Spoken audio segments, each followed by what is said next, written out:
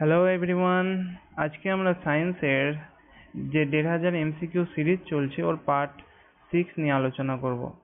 আরেকটি কথা বলে রাখি, আজ থেকে প্রতিটি ক্লাসের শেষে আমি গত ক্লাস থেকে দুটো এমসিকিউ দেব এবং সেগুলো তোমাদের কমেন্ট করে জানাতে হবে। চলো, প্রথম প্রশ্ন, নিচের কোন ধাতুকে কুইক সিলভার বলা হয়? সঠিক উত্তর হবে অপশন ডি, পারদ।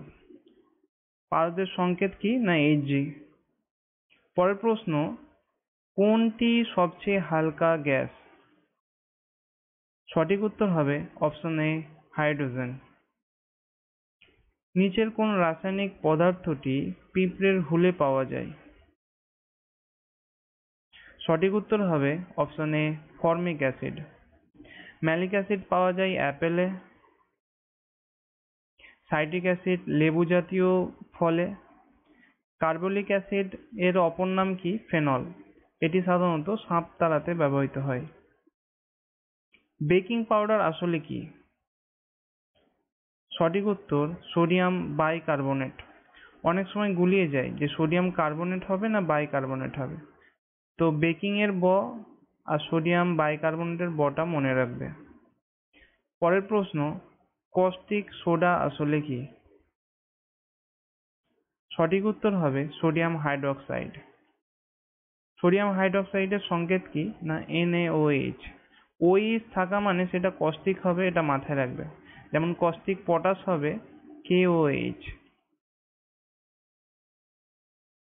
পরের প্রশ্ন, প্রথম তেজস্ক্রিয়তা কে আবিষ্কার করেন? সঠিক উত্তর হবে অপশন বি, বেকারেল। কোন যৌগের ক্ষেত্রে সমাবয়তা ধর্ম দেখা যায়?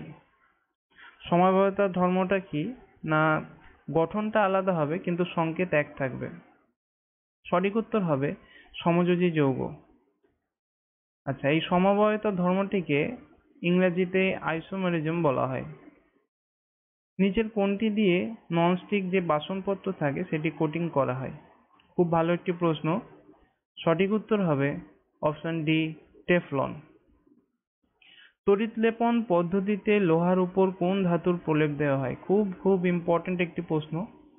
সঠিক উত্তর হবে অপশন বি জিঙ্ক অনেক সময় প্রশ্নটি এভাবেও আসতে পারে যে গ্যালভানাইজেশনের জন্য বা গ্যালভানাইজেশন পদ্ধতিতে লোহার উপর কোন ধাতুর প্রলেপ দেওয়া হয়?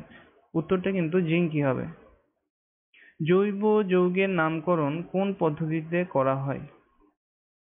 সঠিক উত্তর হবে আইইউপ্যাক যার ফুল ফর্ম হচ্ছে international union of pure and applied chemistry চলো, গত ক্লাস থেকে আমি দুটো প্রশ্ন দিয়েছি। প্রথম প্রশ্নটি, অক্সিজেনের কটি আইসোটোপ পাওয়া যায়?